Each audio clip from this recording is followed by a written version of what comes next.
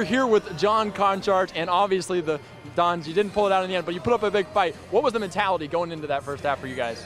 Uh, we just wanted to work hard throughout the whole entire game, uh, not let up ever. Um, we just wanted to play our own basketball, uh, move, swing, move the ball, swing this uh, side to side, and we just got easy baskets against them, and they played a zone, and we just, just didn't cap capitalize with it. What happened in that zone when they went to the zone and you guys kind of started missing threes? Uh, we just didn't gap it very well. Uh, we didn't. The middle was mostly open, but we just never. We just swung the ball and didn't have as much pace to us. And obviously, Harrell, he gets his tooth knocked out, but obviously, Kentucky, they're they're tall, they're long. I mean, it's hard to simulate that on the practice court, isn't it? Yeah, they're they're two three zone with it. Their their arms are really long. They're all over six six practically. Uh, they're they're a very good team.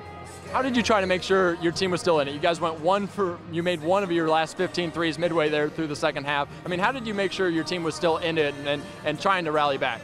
Uh, we all have each other's backs. Uh, we just didn't, we'll never give up, give up on each other. And we just started knocking them down and then went, went from there.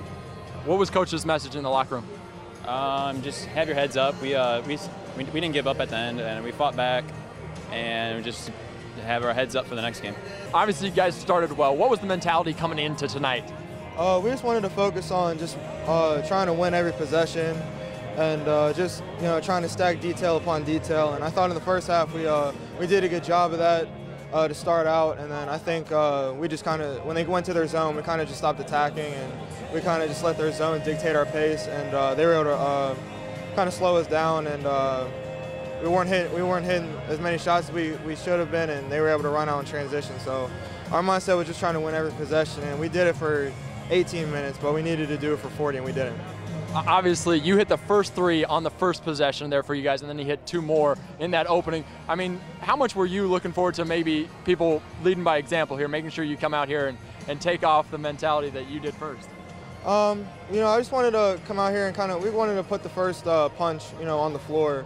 Um, we just wanted to come out here with an attack mentality to start the game. And uh, for me personally, I just wanted to uh, try and work and get better shots. Uh, you know, than I did last game against UIC. I just wanted to come out here and uh, just uh, hunt my shot a lot more and just be ready to shoot. And uh, the guys did a great job finding me early, and I was able to knock them down. You see the roster for Kentucky, and they're so big, they're so long. But is it hard to realize, especially, and you got the tooth knocked out, is it hard to realize how big and how wide they are when you're in practice? Um, nah, I mean, I mean, we're, we're practicing with guys that are like barely over, you know, barely six foot or over. And, you know, we come in here, we got Kevin Knox who's six nine, we got Nick, uh, Nick Richards who's uh, 6'11", and, you know, they got some big guards. So, I mean, it was kind of hard to, you know, kind of imagine it, but, you know, I mean, it, it was still a fun game. What did Coach tell you after in the locker room? Um, he told us that, you know, we're not where we need to be right now, but, you know, we're, uh, we got a long ways to go. Uh, we're just gonna, you know, kind of put this one behind us and get ready for uh, ETSU on Saturday. Here with head coach Jon Coffman, and obviously you said you had to play a perfect game against Kentucky. How did you think your team played in the first half?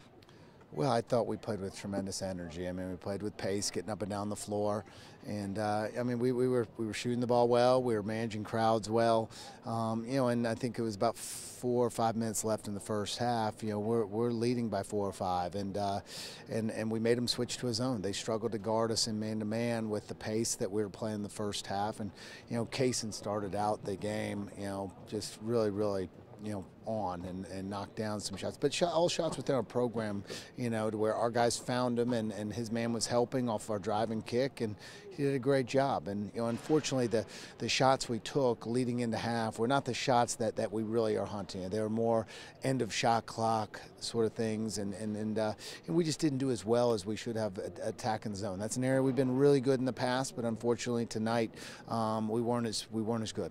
How big of a factor was that end of the first half? Obviously, they ended the half on a 9-0 run. How big of it, and then the lack of momentum coming out in the second half? How big was it? Yeah, I mean that's that's that's a huge part of it. I mean, I, I you know our guys went into to halftime not feeling that they played as well as they really did play. You know, if that five minutes had been spread throughout that half, um, and so it took a little bit of the wind out of our sails. But uh, we, you know, we, we got ourselves back in a, in a good spot.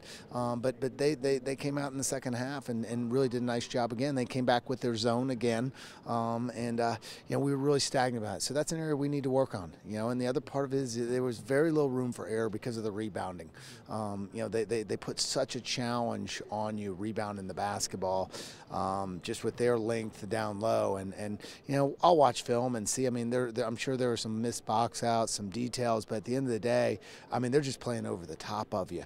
And uh, and, and, and we got to come up with literally every loose ball rebound to, to have a chance. And uh, we weren't quite good enough there tonight.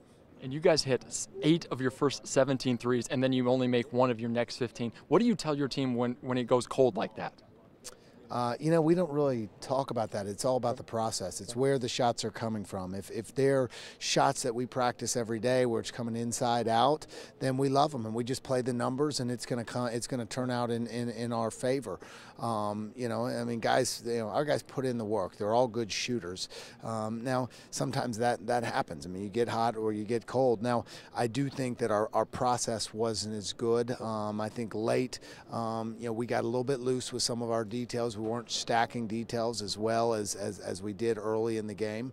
Um, but again, we got a young group. I mean, we got some upperclassmen that you know have won a lot of games, but then we're, we're, we're bringing in six freshmen in there um, and a sophomore who, who haven't played a ton of minutes for us. And so we got to continue to grow. And I thought today was a great uh, you know learning and growing experience for us.